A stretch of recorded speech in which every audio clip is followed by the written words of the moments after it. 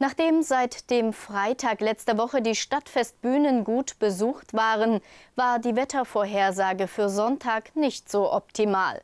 Es war deutlich kühler als an den Tagen zuvor und man musste sich auf den einen oder anderen Regenschauer einstellen. Was uns natürlich nicht davon abhielt, uns noch einmal auf den Weg zu machen. Los ging's bereits um 10 Uhr mit dem ökumenischen Gottesdienst. Richtig in Bewegung wurden die Stadtfestbesucher, vorwiegend die Kleinen, dann ab 14 Uhr mit den Meta-Guilds aus Merane gebracht. Rockmusik für Kinder gab's dann mit Pelle Melle. Wer das Zwickauer Stadtfest kennt, der weiß, dass am letzten Tag immer Punkt 16 Uhr ein Schlagerstar auf der Kornmarktbühne steht. Letztes Jahr war es Sonja Liebing, die die Massen begeisterte. In diesem Jahr freuten sich ganz viele auf Daniela Alfinito. Insider wissen, dass Bernd Ulrich, der Sänger der Amigos, ihr Papa ist und Karl-Heinz Ulrich der Onkel. Damit hat die sympathische Künstlerin wohl beste musikalische Gene mit auf den Weg bekommen. Vor ihrem Auftritt sind wir mit der 52-Jährigen ins Gespräch gekommen. Es ist ja oft so, wenn Kinder in die Fußstapfen ihrer Eltern äh, treten, dann ist es immer die Tochter von. Aber ich glaube, du hast dich davon in den letzten Jahren losgelöst. Du hast deine Eigenständigkeit erreicht und machst dein eigenes Ding. Das ist richtig. Aber ich bin auch immer noch froh, dass ich meine Familie im Hintergrund habe. Aber ja gut, ich werde immer wieder verglichen mit Amigos, das ist ganz klar. Das ist äh, normal. Und das ist auch okay. Warum sollte ich das nicht? Ich bin stolz darauf, dass die Amigos, sage ich immer, meine Väter sind. Schlager ist ja ein bisschen so diese heile Welt, aber ich glaube, in diesen Zeiten braucht man das. Die Menschen sind dünnhäutiger geworden. Corona hat uns alle geprägt. Und ich glaube, ja. wenn du heute hier auf der Bühne diese Lebensfreude verkündest, gibst du den Menschen richtig was an die Hand. Das will ich hoffen, weil äh, ja, meine Texte, die sind alle aus dem Leben gegriffen. Die sind zum Teil auch autobiografisch. Und ich würde nie mit einem Ballermann-Hit irgendwie auf die Bühne gehen, weil das bin ich nicht. Ich habe was zu erzählen, ja, ich habe Geschichten zu erzählen, was den Menschen auch alles widerfahren ist. Ja? Und da achte ich auch sehr, sehr drauf, dass die Menschen sich mit meinen Liedern identifizieren können. Deine Ziele, was hast du noch für Wünsche? Dein großer Herzenswunsch? mein großer Herzenswunsch ist, dass wir wirklich alle gesund bleiben. Und äh, wenn ich jetzt irgendwie materiell mir was wünschen würde, würde mir spontan gar nichts einfallen, weil äh, ich bin glücklich so, wie es ist. Ich bin glücklich und ich sage immer wieder, wenn ich hier, ich sage, in den Osten komme, das ist meine zweite Heimat. Egal ob Dresden, Leipzig oder hier Zwickau, ja, das ist meine zweite Heimat. Diese Menschen haben mich groß gemacht und diesen Menschen habe ich so, so viel zu verdanken. Und ich bin einfach nur glücklich, dass es diese Menschen gibt. Dann wünschen wir uns heute einen super Auftritt von dir. Ich glaube, Sie werden dich tragen, Sie werden dich feiern. Ich will es hoffen. Mittlerweile standen die überwiegend weiblichen Fans dicht gedrängt vor der Kornmarktbühne. Wir haben nachgefragt, was die Künstlerin so ausmacht. Ja, weil, weil wir größte Fans sind von ihr. Ja? Super, da haben wir alles. Mit. Was macht diese Frau aus?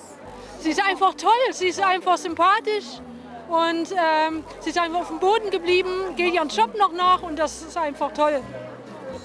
Wie finden Sie diese Frau? Ich bin erst neu, ich will erst mal gucken. Ne? ja, also Sie lassen sich überraschen? Ja, ja, sie haben, sich, die haben mich mitgenommen und da bin ich mal mit.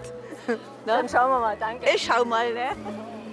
Was finden, genau, was finden Sie an dieser Frau so Eine toll? sehr sympathische Frau. Schlicht und einfach, Natur, auch die Feder, auch ihren Vater. Sie spricht Ihnen aus dem Herzen. Ja, die singt einfach super. Einfach real, alles einwandfrei. Und dann ging's scharf. Bereits bei den ersten Tönen hatte Daniela Alfinito das Publikum an der Kornmarktbühne für sich gewonnen. Ich weiß, wie es ist, allein. Ich komm nach Haus, wenn niemand ist daheim. In ihren Liedern erzählt die Sängerin aus ihrem Leben, welches nicht immer leicht gewesen ist. Gleichzeitig macht sie aber auch Mut mit ihrer Musik und versprüht Lebensfreude. Mein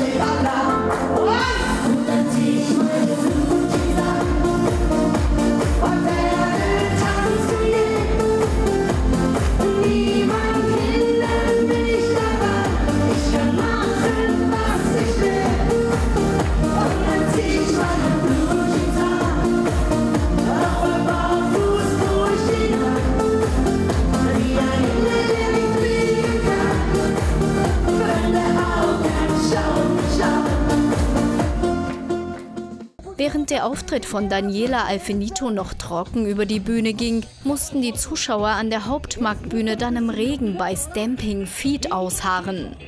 Wir pumpen nicht auf Wärme, wir pumpen nicht auf Konditionen, wir pumpen auf Masse,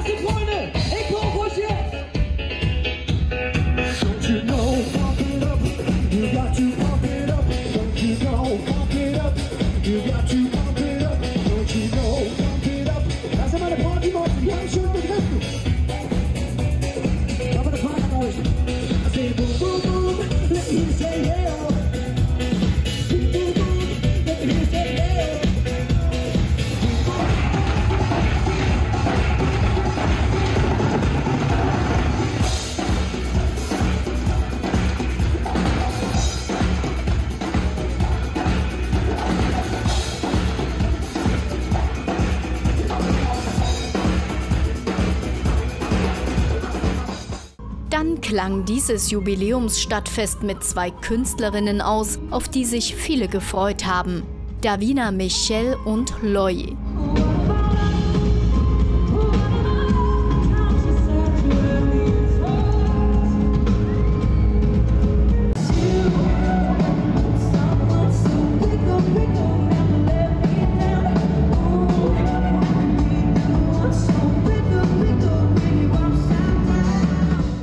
Letzten Tag der 20. Auflage des Zwickauer Stadtfestes gab es dann noch ein erstes Fazit. Gezählt wurden rund 120.000 Gäste an vier Tagen. Seitens der Macher war man sich einig, mit den vorhandenen Mitteln ein recht anspruchsvolles Programm auf die Beine gestellt zu haben. Seitens der Polizeibehörde sprach man von keinen größeren Vorfällen. Alles in allem haben die Zwickauer und Gäste friedlich gefeiert. Wie es um die Zufriedenheit der Händler und Gastronomen aussieht, darüber war noch nichts bekannt. Wie heißt es immer so schön, nach dem Fest ist vor dem Fest. Dann werden wir sehen, was die endgültige Auswertung bringt und wie man in die Planung für 2024 geht.